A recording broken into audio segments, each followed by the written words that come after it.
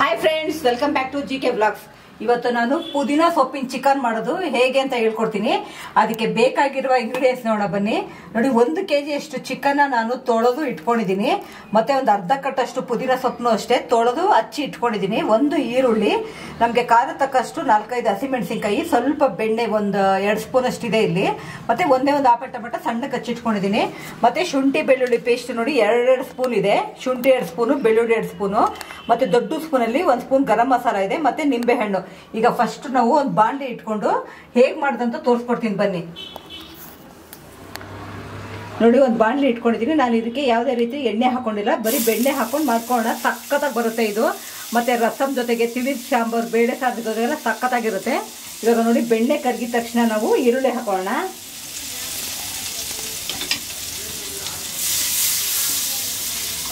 ನಿಮಗೆ ಬೇಕಾದರೆ ಬೆಣ್ಣೆ ಇಷ್ಟ ಇಲ್ಲ ಅಂದರೆ ಎಣ್ಣೆನೇ ಹಾಕೊಳ್ಳಿ. ಇವಾಗ ನೋಡಿ, ಬೆಣ್ಣೆ ಎಲ್ಲ ಕರಗಿದೆಯಲ್ವಾ? ನಾವು ಹಚ್ಚಿಡಿ ರೆಡಿ ಮಾಡ್ಕೊಂಡಿರೋ ಅಂತ ಒಂದು ಈರುಳ್ಳಿನ ಇದಕ್ಕೆ ಹಾಕೋಣ ಬೆಣ್ಣೆಲ್ಲ ಹಾಕಿ ಮಾಡಿದ್ರೆ ಇದು ಫ್ಲೇವರ್ ಸಖತ್ತಾಗಿರುತ್ತೆ.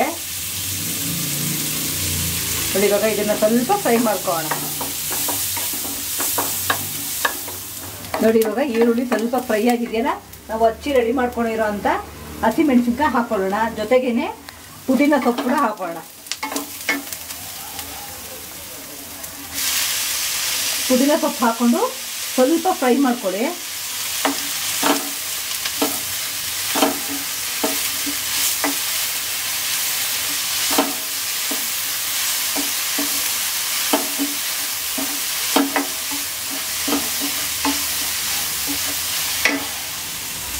ಇವಾಗ ನೋಡಿ, ಪುದೀನ ಸೊಪ್ಪು ಫ್ರೈ ಆದಮೇಲೆ ನಾವು ಶುಂಠಿ ಬೆಳ್ಳುಳ್ಳಿ ಪೇಸ್ಟ್ ಹಾಕ್ಕೊಂಡು ನೀಟಾಗಿ ಫ್ರೈ ಮಾಡ್ಕೊಳ್ಳೋಣ.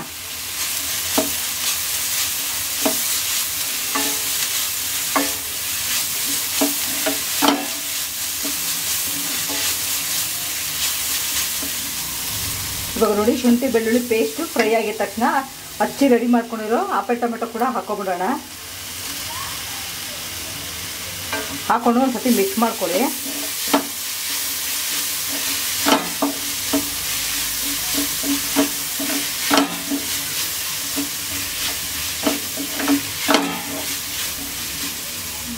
ಇವಾಗ ನೋಡಿ ಟೊಮೆಟೊ ಹಾಕಿ ಫ್ರೈ ಆದಮೇಲೆ ನಾವು ತೊಳೆದು ರೆಡಿ ಮಾಡ್ಕೊಂಡಿರೋ ಅಂತ ಚಿಕನ್ನ ಇದಕ್ಕೆ ಹಾಕೊಂಡ್ಬಿಡೋಣ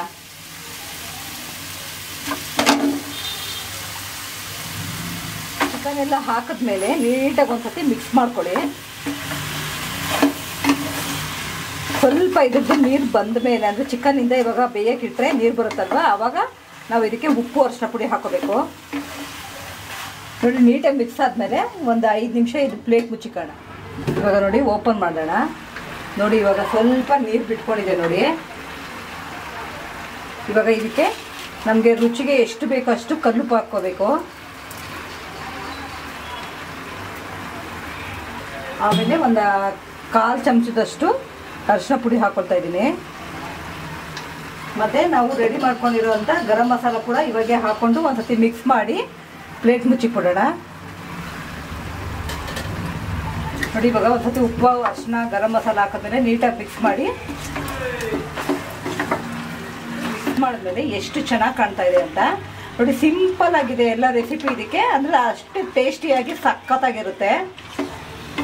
ಇದು ನಿಮಗೆ ಗ್ರೇವಿ ಬರೋದಿಲ್ಲ. ಗ್ರೇವಿ ಬೇಕು ಅಂದರೆ ನೀವು ಟೊಮೆಟೊ ಇಲ್ಲ ಕಾಯಿ ಎಲ್ಲ ರುಬ್ಬಾಕೋಬೇಕು ಹಿಂಗೆ ಸಿಂಪಲಾಗಿ ಸೂಪರಾಗಿದೆ ಇವಾಗ ನೋಡಿ ಮಿಕ್ಸ್ ಆಗಿದೆ. ಒಂದು ಪ್ಲೇಟ್ ಮುಚ್ಚಿ ಇಟ್ಬಿಡೋಣ. ಸ್ವಲ್ಪ ಬೇಯಬೇಕಿದು ಇವಾಗ ನೋಡಿ ಓಪನ್ ಮಾಡಿ ನೋಡೋಣ.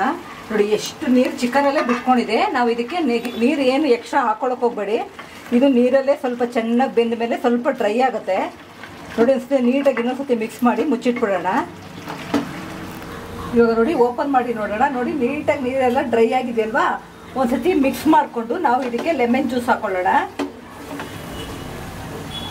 ನಿಮಗೆ ಬೇಕಿದ್ರೆ ಹಾಕೊಳ್ಳಿ. ಹಾಕಿದ್ರೆ ಮಾತ್ರ ಸಖತ್ತಾಗಿರುತ್ತೆ. ಮತ್ತು ಈ ರೆಸಿಪಿ ತುಂಬ ಕಡಿಮೆ ಇಂಗ್ರೀಡಿಯೆಂಟ್ಸಲ್ಲಿ ಮಾಡಿರೋದು ಸಖತ್ತಾಗಿ ಟೇಸ್ಟ್ ಆಗಿದೆ. ಮರೆದಿರ ನಿಮ್ಮ ಮನೇಲಿ ಒಂದ್ಸತಿ ಟ್ರೈ ಮಾಡಬೇಕು ಈ ರೆಸಿಪಿ ಸೂಪರಾಗಿ ಬರುತ್ತೆ. ನೋಡಿ, ನಿಮಗೂ ಈ ವಿಡಿಯೋ ಇಷ್ಟವಾದಲ್ಲಿ ಲೈಕ್ ಮಾಡಿ ಶೇರ್ ಮಾಡಿ ಸಬ್ಸ್ಕ್ರೈಬ್ ಮಾಡಿ. ಪಕ್ಕದಲ್ಲೇ ಇರೋ ಬೆಲ್ಲೈಕನ್ನ ಕ್ಲಿಕ್ ಮಾಡಿ. Thank you